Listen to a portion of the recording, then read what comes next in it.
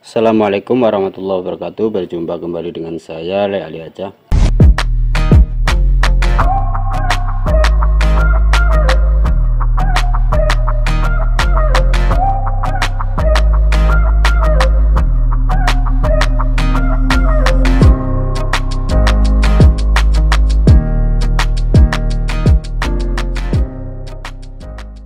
pada kesempatan kali ini saya akan bagi bagaimana cara memasang atau nanti kita review sekalian ya. Ini saya tebok Evercross New ya. Gambar lebih jernih dengan teknologi HD di sini sudah ada EVS, EPG, LCN, WiFi dongle dan HD out USB ini sudah standar nasional atau ASNI oke ini tipenya DVB Oke, adapun apa saja ini? Ini spesifikasinya ya penerima bisa menerima sinyal terrestrial TV digital DVB T2. Early warning system EWS, electronic program grid atau EPG, kemudian logical channel number atau LCN, kemudian mendukung format resolusi 1080p, 1080i, 720p, 576p, 576i. Kemudian aspek rasio 4.3 dan 16.9 jadi ini bisa di TV LED dan TV tabung ya. TV tabung biasanya ukurannya 43 kalau live LED dan 16.9 kemudian full HD out USB 2.0 RCA audio atau video kabel merah putih kuning itu kemudian multi bahasa ODS kemudian IR remote control. Juga mendukung format penyimpanan NTFS FAT32 FAT16 mendukung multimedia foto JPEG MPP PNG audio WMA MP3 ACC video impact 1 impact 2 atau MP2 kemudian impact 4 atau MP4 kemudian H26A MOV MKV AV DV kemudian disertai dengan bisa mendukung dongle wifi optina opsional. Ya ini tipenya setup box Evercross tipe STB Prime daya 110 watt tegangan AC 22024V ya di sini juga sudah brandnya ini sudah mendapat base grand gold cellular award dan lain-lain ini ya. Coba coba kita buka ya. Ini di sini tipenya STB Prime ini pengeluaran terbaru ya. Yang sebelumnya warnanya ada yang biru kuning. Ini yang hitam ini pengeluaran terbaru ya. Oke kita buka. Dalamnya satu remote. Kemudian buku garansi. Setelah itu di sini juga ada buku petunjuk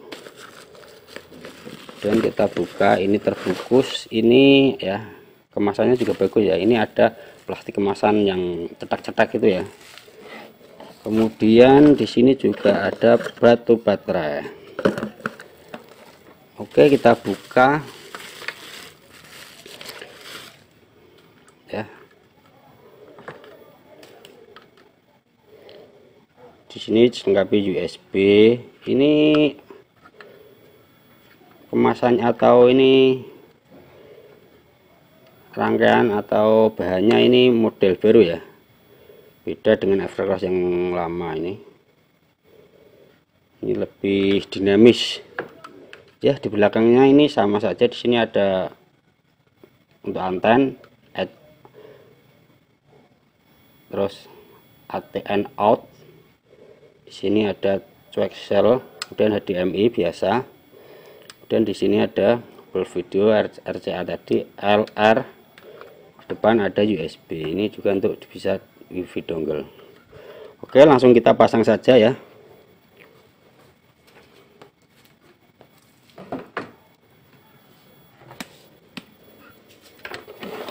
Oke yang belum pernah memasangnya kita bisa langsung colokan ini ya. Ini colokan colokan satu blok langsung kita pasang di di tempat listrik. Kemudian ini anten ya. Anten kita colokkan di sini ya. Ini di sini tempat anten ya.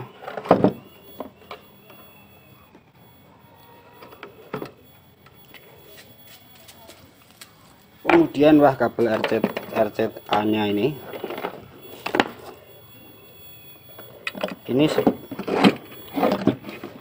masangannya sama ya sama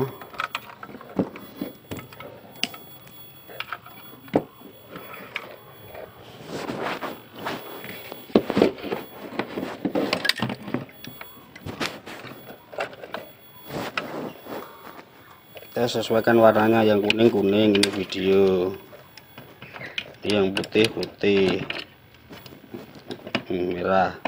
Putih-putih ini untuk RL atau audio.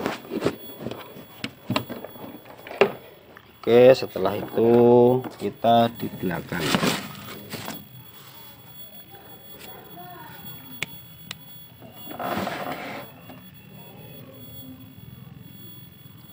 di belakang ini kita harus baca ya.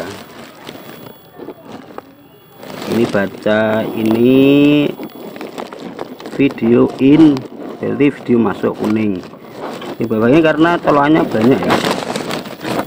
Kita harus baca tulisan tersebut. Ini yang kuning ya kuning. Ini video. Kita harus baca video in berarti untuk video setelah itu barisannya. Ini pasti audio di sini. Audio R. Oke. Ternyata sudah diprogram dari sananya.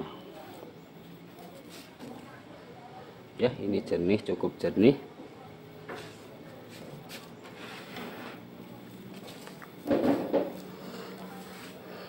Oke, bila mau mengprogram ulang ya.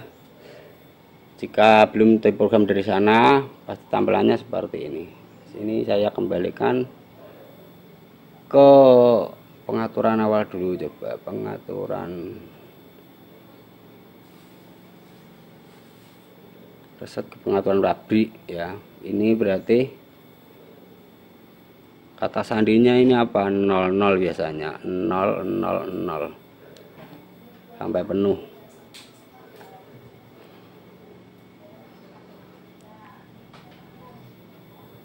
Oke bila tampilannya seperti ini ya.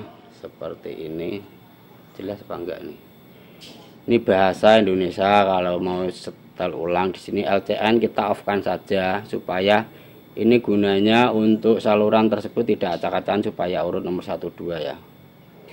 Kita off kan saja ya kemudian kode pos ini disesuaikan kode wilayah masing-masing. Kalau tidak tahu cari saja di Google kode pos wilayah tersebut atau kelurahan masing-masing. Setelah oke setelah itu kita klik berikutnya. Kemudian di sini antena aktif. Bila antenanya langsung digital tidak ada boosternya kita off kan saja. Kalau ini antenanya ada boosternya atau tidak ada boosternya kita on kan. Kebetulan di sini antenanya sudah ada boosternya maka saya tidak aktifkan karena ini juga bisa mengambil strom ya tegangan strom karena kalau ada boosternya itu sudah ada stromnya sendiri. Kemudian negara Indonesia. Oke setelah ini sudah selesai kita klik pencarian. Mulai pencarian kita klik di remote. Oke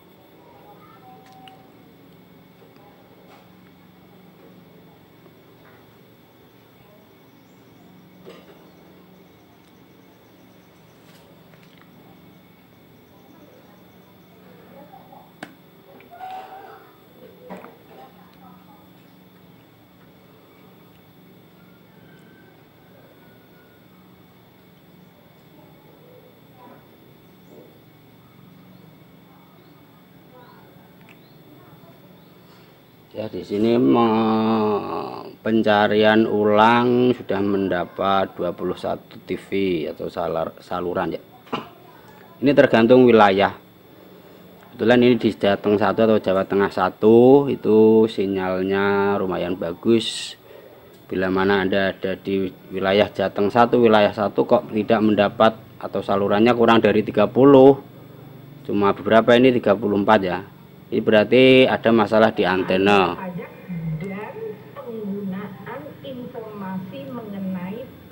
Oke, ini gambarnya jernih. Coba kita ganti di saluran lain mungkin ya. CTV. Nah, ini juga jernih. Oke. Kemudian bila ketika setebok dipasang di TV Anda kok tampilannya hitam putih ya? Coba saya.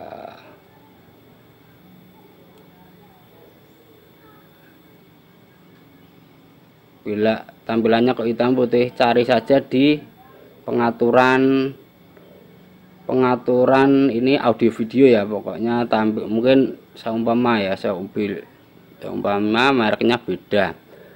Mungkin tampilannya kan juga beda. Cari saja di pengaturan audio video klik. Setelah itu ada format ini format TV ya.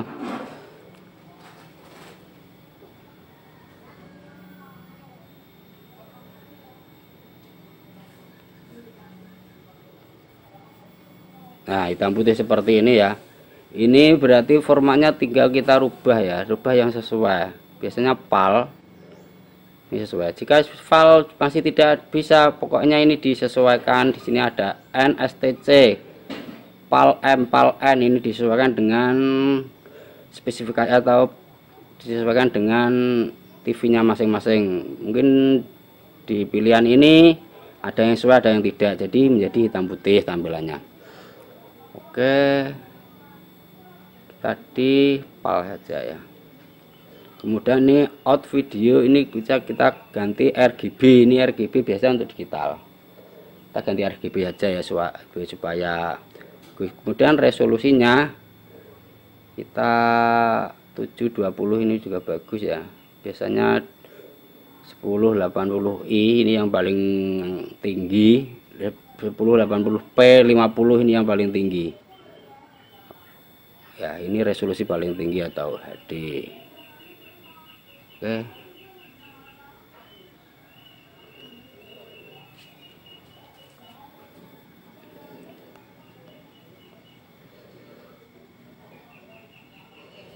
Ya, ini. Oke, bila mana ada pertanyaan yang perlu ditanyakan silahkan tulis komentar di kolom komentar supaya bisa saya berbagi pengalaman dalam memasang atau menyekan atau mengatur satu anda sekalian ya.